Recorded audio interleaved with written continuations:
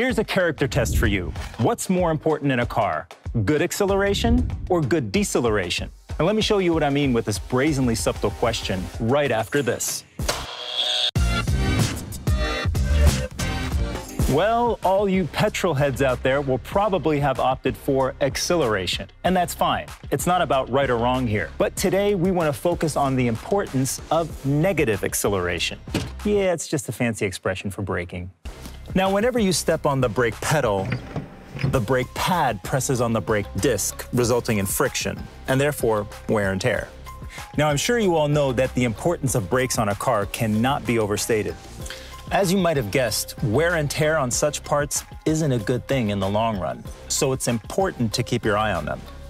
Now, how do I make sure that my brakes decelerate in the best possible way, you ask? Well, you came to the right place. Let's find out.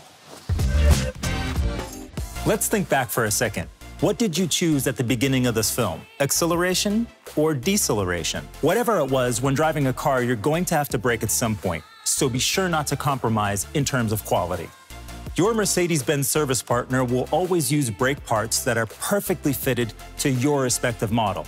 Now, these brakes will provide the best braking performance, especially under hard conditions, such as going downhill or pulling a trailer, or pulling a trailer downhill.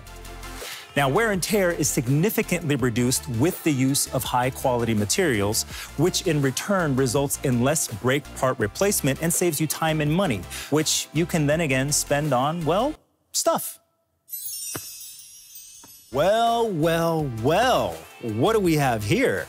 Now, if your Mercedes-Benz sports one of these bad boys, consider yourself lucky.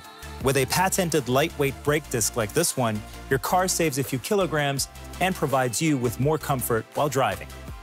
What else do we have? Brakes are important.